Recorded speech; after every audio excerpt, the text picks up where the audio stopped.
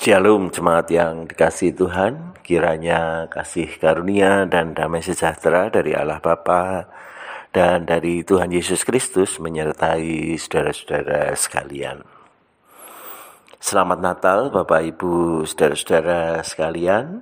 Kita bersyukur bahwa suasana Natal termasuk dengan ibadah-ibadah yang kita jalani sudah kita lewati bersama dengan baik dan kita terus melakukan bagian kita untuk menjadi pembawa berkat Tuhan kepada sebanyak mungkin orang.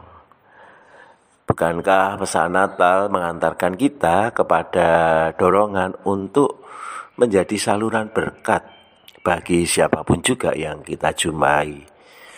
Para gembala sudah meneladankannya dan bahwa Maria dan Yusuf juga mengalami topangan dan kekuatan dari banyak orang. Nah, saudara-saudara, hari ini kita juga tidak merenungkan bagian dari firman Tuhan di mana Rasul Paulus kepada jemaat di Kolose menyampaikan apa yang menjadi pergumulannya dan kemudian dia mengutus orang untuk menghibur jemaat di sana. Kolose 4 ayat 7 dan 8 berbunyi demikian. Semua hal ihwalku akan diberitahukan kepada kamu oleh Tikikus, saudara kita yang kekasih, hamba yang setia, dan kawan sepelayanan dalam Tuhan. Ia kusuruh kepadamu dengan maksud supaya kamu tahu akan hal ihwal kami dan supaya ia menghibur kamu.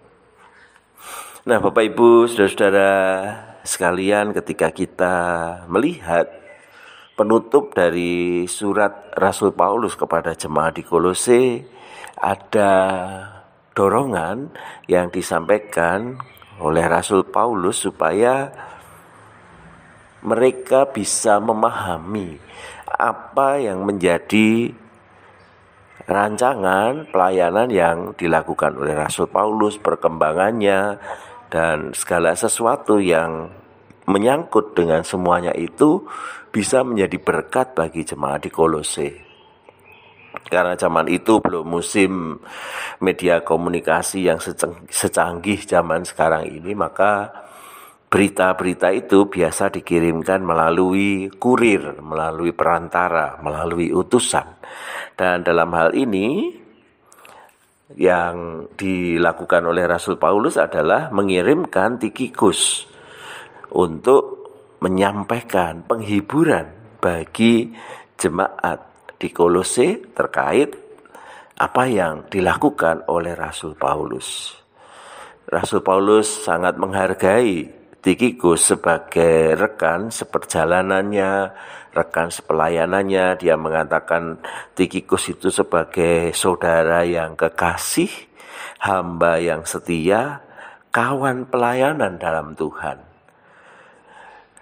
Hal ini menunjukkan sebuah kolegalitas yang baik yang dimiliki oleh Rasul Paulus kepada Tikikus.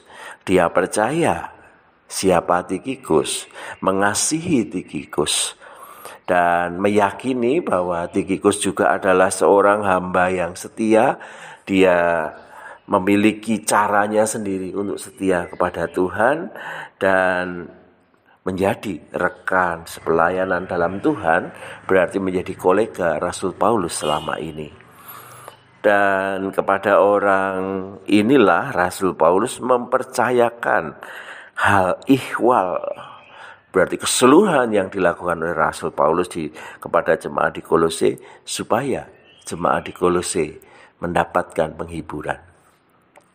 Nah, Bapak Ibu, saudara-saudara sekalian, kita bersama-sama bisa melihat bagaimana Rasul Paulus ini memberikan keteladanan yang luar biasa tentang jiwa kolegalitas yang dia miliki dia merengkuh, merangkul rekan kerjanya, memberikan kepercayaan kepada dia, dan kemudian ketika mempercayakan untuk melakukan sesuatu, Rasul Paulus meyakini bahwa itu bisa mendatangkan penghiburan bagi jemaat di Kolose.